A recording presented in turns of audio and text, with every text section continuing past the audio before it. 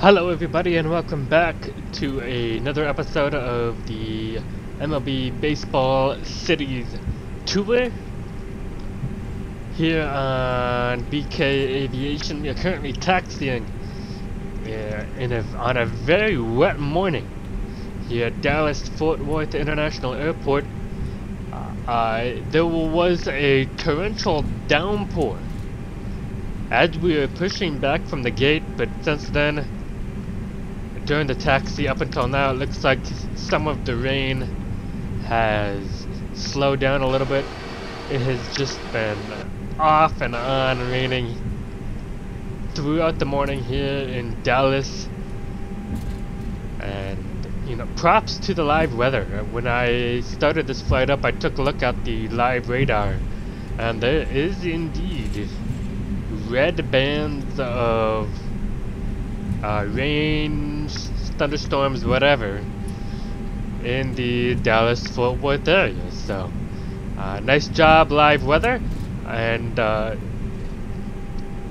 there, mu there must be some sort of weather event happening in the western portion of the state because it also looked like uh, there are some areas of heavy snow in western portions of Texas.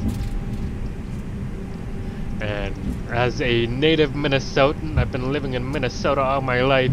Snow means absolutely nothing to me. I love driving in the snow. I'm really good at it. But being a lifelong Texan and getting a large quantity of snowfall, I oh boy. Godspeed to all of those folks down there. But it looks like the rain has uh, lightened up a little bit here as we are approaching our departure runway. Uh, we're departing on the same runway we arrived at, at 35 right. And we are going to be on our way back the way we came. Uh, the random number generator is leaving us with absolutely no fun had. We came here from uh, Orange County, John Wayne Airport, the airport I assigned to the Anaheim Angels, Los Angeles Angels, California Angels, whatever you want to call them, to fly here to Dallas Fort Worth. And the very next flight we are heading right back, this time to the airport assigned to the Los Angeles Dodgers, then that of course being Los Angeles International Airport, LAX. That is where we're heading now. Here we go.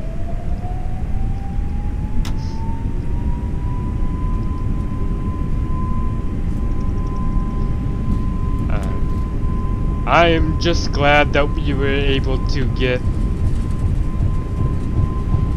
a flight to Dallas Fort Worth in between the two LA airports. Uh, V1 rotate. Uh, beautiful. We are up. Gears up.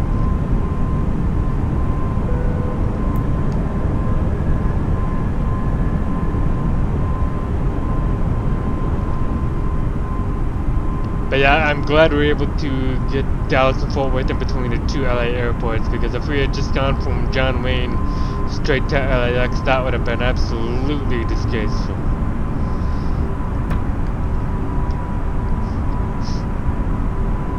Um, but, but now that that isn't possible since we had Dallas in between the two, that really only leaves us with two uh, possible chances to get one of those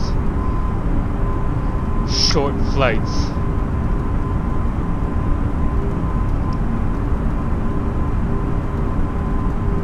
If the number, random number generator deems it necessary, uh, one of those being the two New York destinations, LaGuardia and JFK, and then the other two being Oakland and San Francisco. both of those, all four of those destinations we have yet to fly to, and um, just basing off of a complete guess, I would probably say that the shortest route possible would be the one from Oakland to San Francisco. Going completely off my memory, I feel like the only thing separating those two airports is basically the San Francisco Bay.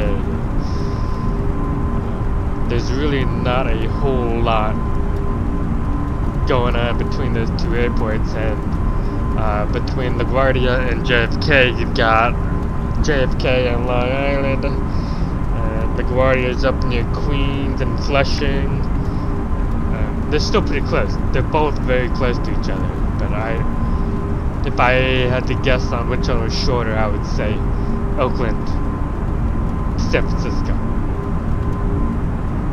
But I don't know. But what I do know is once we complete this turn, we're going to increase our speed.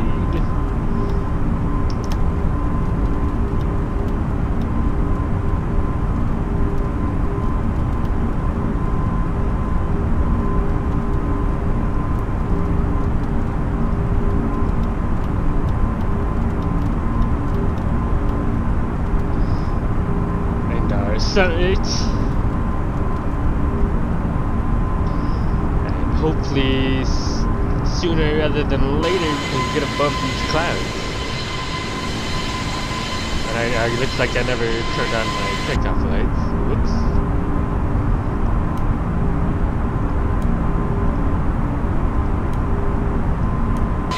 There we go. Now we can see. Now we can see. Oh, that's. Oh, by the way, we're flying the U.S. Airways Airbus A320 um, going off of my standard decision-making process on selecting the livery for flight. The main carrier at LAX is American Airlines, and I flew the legacy livery of American Airlines on our way to Dallas, and this time I went with a uh, an airline that was bought out or merged or whatever with American Airlines. Uh, U.S. Airways actually, uh, there are many U.S. Airways airplanes, former U.S. Airways airplanes that are now flying with American Airlines livery. And uh, the tail number that I use for all of my American Airlines flights is actually assigned to an airplane that used to be, that originally was, a US Airways airplane.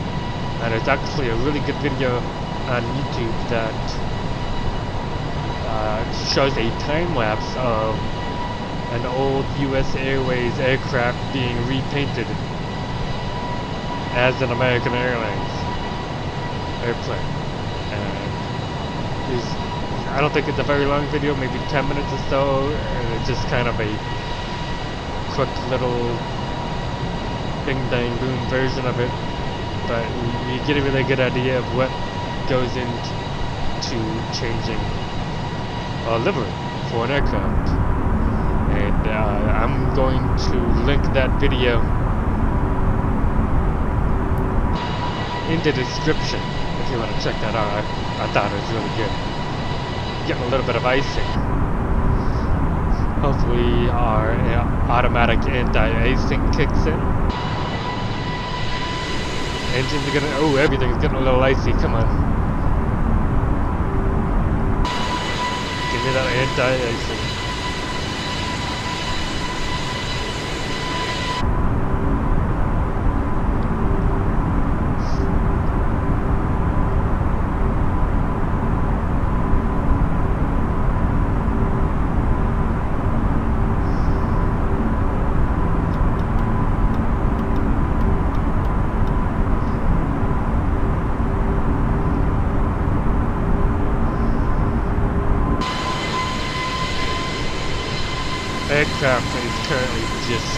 Coated in ice.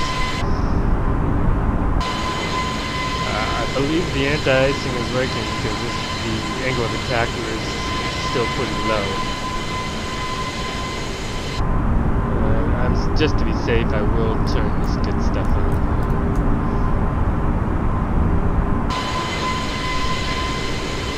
I don't think we needed it.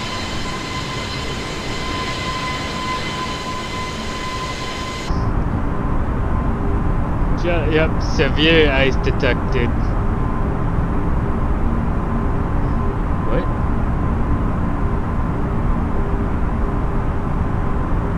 They want my engine mode on IGN. that's a new one. I've, I've never seen that message before.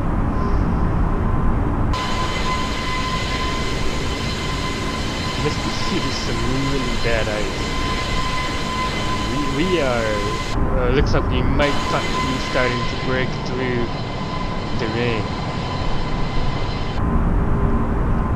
This is just constant rain. I'm gonna go TOGA here.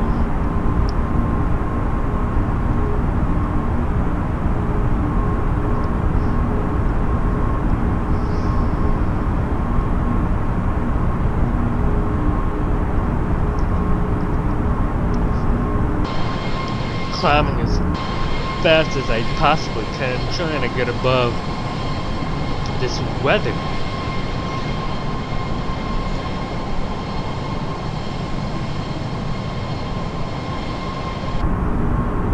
My plane, oh, there's the sun right there, uh, blue sky. But the, the, the exterior of my plane is just an ice cube finally breaking free.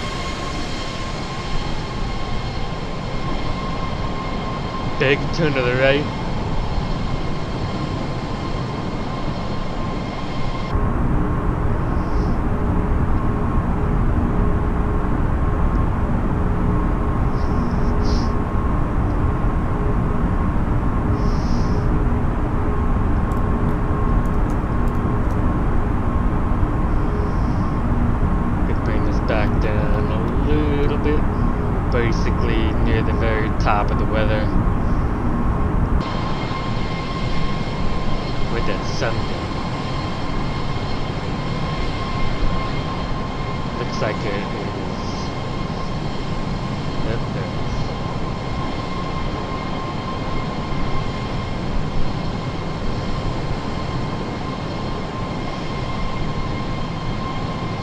Climbing up to flight level 380, that's 38,000 feet. So when it's all said and done, we will be well ahead of, and well above of this. Whatever the hell this weather is here over Texas. Looks like we might have broken free.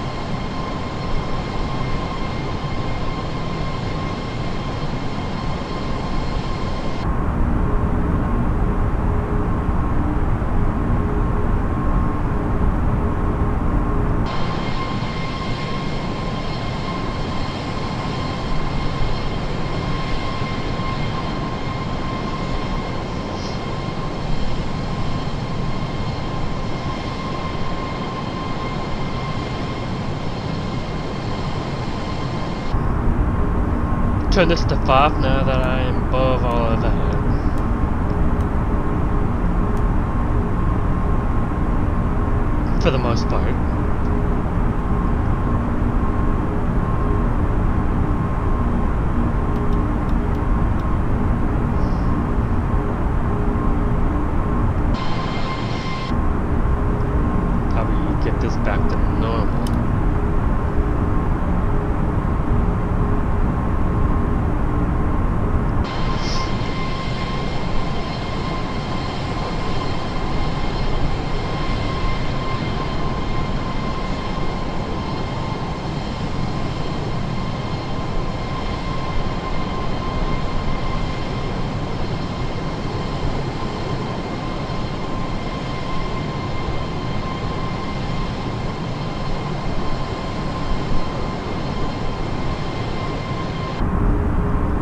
currently at 30,000 feet. We may never completely get above these rain clouds.